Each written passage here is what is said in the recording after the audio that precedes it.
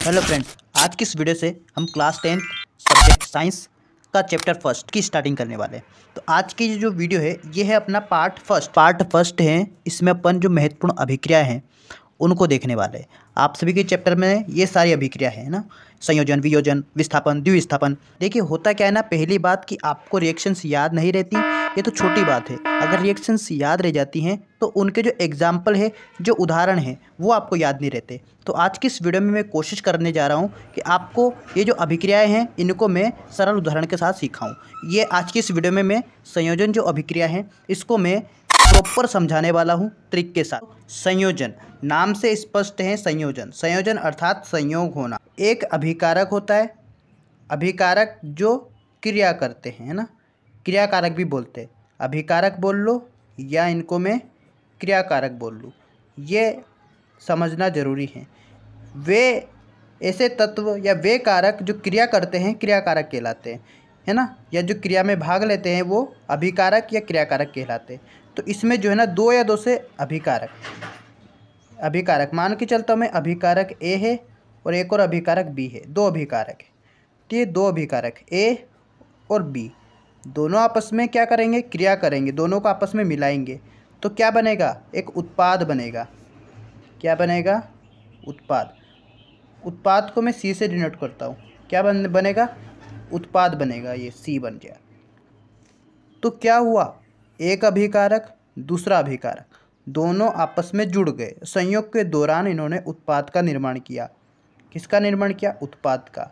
तो आपस में क्या हुआ? जोड़ हुआ। क्या हुआ? जोड़ हुआ। क्या हुआ? योग हुआ। तो इसको योगात्मक अभिक्रिया भी बोल सकते हैं। और इसमें क्या हुआ? संयोग हुआ। संयोग। संयोग यानी मिलना। तो इनको संयोग, संयोगात्मक अभिक्रिया भी बोल सकते हैं। और इसको संयोजन अभिक्रिया भी बोल सकते हैं। अब चलिए मैं उदाहरण के द्वारा भी समझाता हूँ और परिभाषा भी समझाता हूँ। तो सबसे पहले आपसे भी परिभाषा देखेंगे कि वे रासायनिक अभिक्रियाएँ जिनमें दो या दो से अधिक अभिकारक, देखिए या तो दो या अधिक भी हो सकते हैं तो जिसमें दो या दो से अधिक अभिकारक या क्रियाकारक। आपस में क्रिया करते हैं, ठीक है? क्या करते हैं? क्रिया करते हैं और क्रिया करने के बाद क्रिया के फलस्वरूप उत्पाद का निर्माण करते किसका निर्माण करते उत्पाद का निर्माण करते अब चलिए उदाहरण के दौरान समझते हैं। देखिए, सबसे पहला उदाहरण, जो कि हो सकता है आपको टफ लगे, लेकिन पहला है, देखिए, उसके बाद दूसरा भी बताऊँगा। जैसे कि देखिए, इसमें एन एच थ्री है। एन एच थ्री कौन सी फॉर्म में? गैस की फॉर्म में। ये अभिक्रिया करेगी एच सी एल से। एच सी एल भी कौन सी फॉर्म में? गैस की फॉर्म में। और अभिक्रिया के दौरान क्या बनेगा? बन जाएगा यहाँ पर एन एच फोर ये एक एच यहाँ से आकर यहाँ जुड़ जाएगा। एन एच फोर और सी एल ये दोनों जुड़ेंगे। भाई साहब, ये एक एच इस तीन एच में जुड़ेगा तो क्या हो जाएगा? चार एच और सी एल का सी एल यानी कि देखिए एन का एन एच थ्री था। अब एच थ्री है और इधर से एच वन है। दोनों जुड़ेंगे तो एच फोर हो जाएगा। इसलिए एन एच फोर और सी एल का ये सी एल तो N H four C L है ना? N H four C L ठीक है? सी एल ये एच नहीं आएगा फिर से। सी एल होगा, ठीक है? दूसरे देखिए C A O plus H two O equal to C A O H का होल टू देखिए, ये सी ए का सी ए है, ठीक है?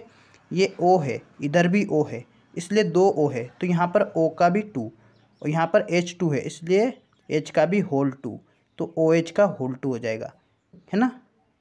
सी ए कोष्टक में ओ एच का होल टू ठीक है? तो ये दो क्या हो गए? एग्ज़ाम्पल हो गए। ये एक जो एग्ज़ाम्पल है, ये एक और अभिक्रिया में भी काम आएगा, जिसके बाद हम आगे करेंगे। इसलिए मेरा मानना है कि आप सभी ये याद करें तो ज़्यादा बेटर रहेगा। ठीक है?